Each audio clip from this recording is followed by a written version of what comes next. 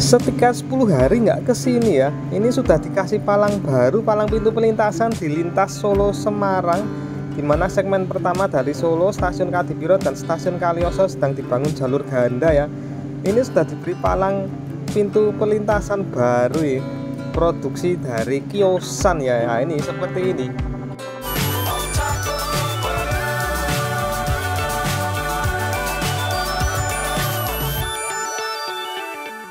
Selamat pagi, salam sehat dan sukses selalu. Kawan-kawan semua di mana pun kawan-kawan berada ya. Kembali lagi di lintas Solo Semarang pembangunan jalur ganda rel kereta dari Solo Semarang masih terus dikerjakan. Segmen pertama dari Solo stasiun Katipiro di depan saya ini dan stasiun Kalioso yang ada di belakang ya. Oke nanti saya mau update di peta stasiun Katipira mengarah ke arah sisi sebelah utara ya namun sebelum itu nunggu dulu KA 161 Joglo Semarkerto melintas di stasiun Katipiro ya melintas langsung cuma satu kereta aja yang berhenti normal di sini yaitu KA Bias kereta Bandara Adi Sumarmo Solo ya. Oke, nunggu dulu habis itu kita ngedrone dan jalan-jalan di sisi utara stasiun Kadipiro ya.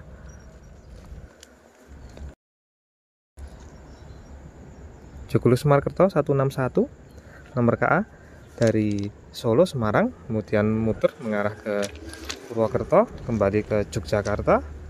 Melalui stasiun Kroya balik lagi ke Solo dan nanti sore mengakhiri perjalanan di Semarang Tawang Bang Jateng Joglo Semarkerto dan juga dapat info dari teman saya yang rumahnya di daerah sini ada pemasangan palang pintu pelintasan di utara stasiun Kadipiro. Nanti kita pantau ya jalan-jalan sekalian pagi hari ini.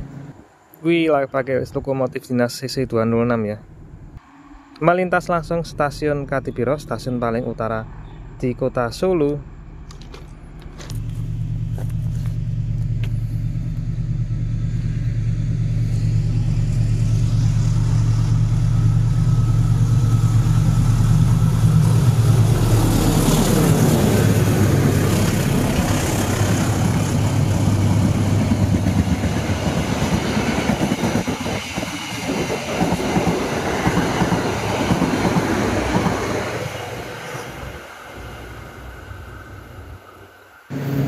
Oke, selamat melanjutkan perjalanan Joglo Sumarkerto. Kita nanti mengarah ke arah sana ya, pelintasan Kedomangsa, kemudian pelintasan Kismoyoso. Katanya di antara kedua itu ada pemasangan palang pintu pelintasan. Saya penasaran, palang pintu pelintasannya produksi apa ya? Nanti kita coba cari tahu ya. Pagi hari ini ya. Nah, keren pemandangan pagi hari ini di sini. Oke, pas banget di sisi utara stasiun Katipiro. Updatean per hari ini, ini tanggal 5 September ya teman-teman semua. Kemarin kita melihat ke arah sisi selatan stasiun Katipiro. Sekarang ini saya mau ke arah utara ya, melihat perkembangan kelanjutan pemasangan rel ganda ya. Kereta api dari Solo Semarang segmen pertama sini dari Solo hingga stasiun Kalioso masih belum disambung untuk jalur kereta yang jalur satu ini yang masuk ke arah stasiun Kadipiro ini. Nah itu stasiun paling utara di kota Solo ya. Ini ada wesel yang sudah terpasang mantap di bawah sini. Tinggal menunggu nanti dikoneksikan masuk di jalur satu ya. Di stasiun Kadipiro. Nah ini ada wesel yang diletakkan masih ada di sini seperti yang updatean sebelumnya pun juga ada vessel di titik sini ya. Oke kita mengarah ke arah lebih ke utara sana. Ada penambahan apa saja mengarah ke sana itu ya? Cari tahu pakai drone nanti setelah di bawah jembatan tol itu saya mau turun jalan-jalan aja melihat dari dekat ya. Sekarang ini kita pantau pakai drone kita turun terbang rendah aja biar nggak kena tiang listrik ya. Oke segini cukup ya. Ya masih ada vessel yang diletakkan di jalur satu di sisi utara stasiun Kartipiro kemudian ini ada rel baru ya di depan kita yang mengarah dari jalur 2 menuju jalur 3 untuk KA bias ya ya ini. Kemudian oh di sini sudah ditambah batu balas ya. Baik itu di jalur 2 dan jalur 1 yang ada di kanan saya ini ya. Nah ini ini nanti jalur kereta yang lurus yang mengarah ke arah Solo Semarang ya. Ini dua jalur ini ya. Mantap kan progresnya?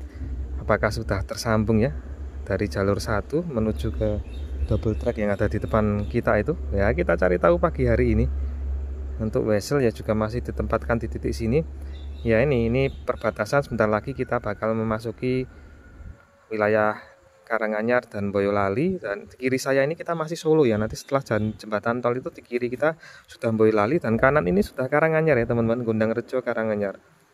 Ya ini masih belum ditutup pakai pagar pengaman. Tinggal sedikit saja di sini ya. Oke lanjutin perjalanan. Terbang ke arah sana kiri kita ini jalur yang mengarah ke Bandara Adi Sumarmo Solo.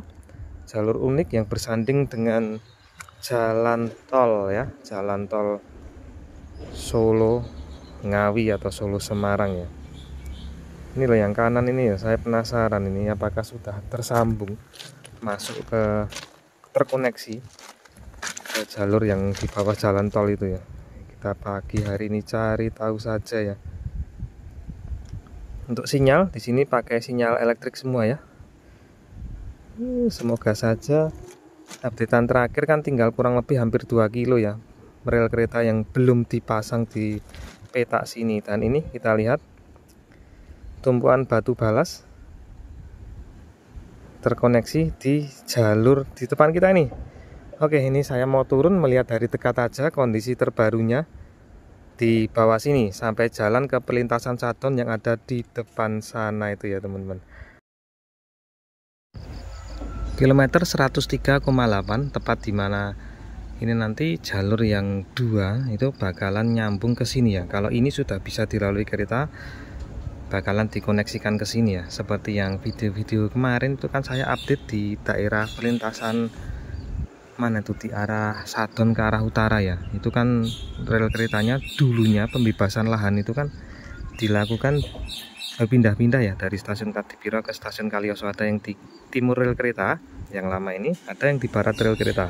Tapi setelah saya cek di video ini ya yang kanan ini ini kan jalur keretanya sudah bagus banget ya nggak berpindah-pindah seperti yang dulu ya. Kalau teman-teman mengikuti progres perkembangan di sini di video saya yang lama-lama pasti bakal lebih paham ya.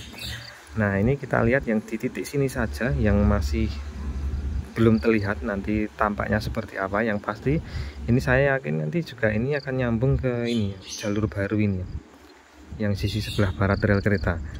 Nah, ini dari stasiun Kadipiro kan rel yang disusun baru yang berada di sisi sebelah timur. Ini kan mulai di titik sini dari kilometer 108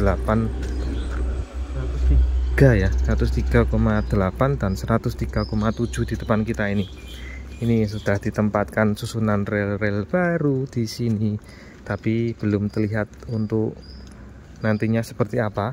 Kalau sudah jadi kan kita lihat tuh jalur 1 2 ini kan sudah hampir tersambung ya itu nanti bakal disambungkan itu seperti sedikit dibelokkan gitu ya untuk nyambung dari sini ke sini ya teman-teman. Dari sana ya nyambung ke sana.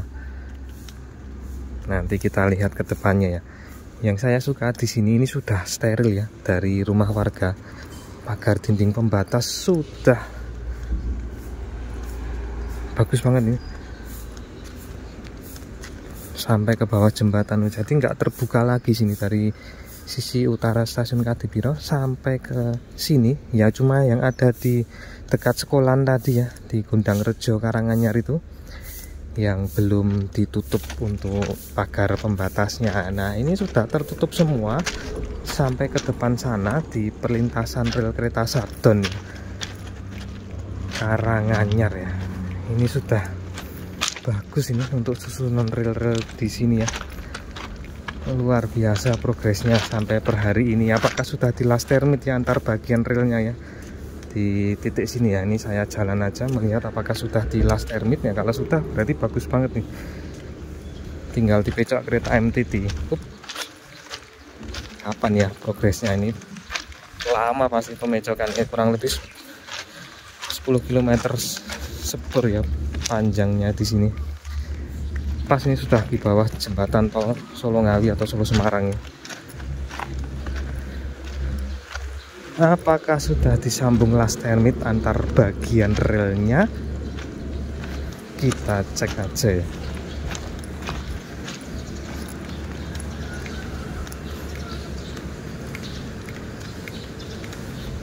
Nah ternyata belum ya teman-teman Belum di last termit antar susunan bagian relnya Dan ini kelihatan bagus banget ya.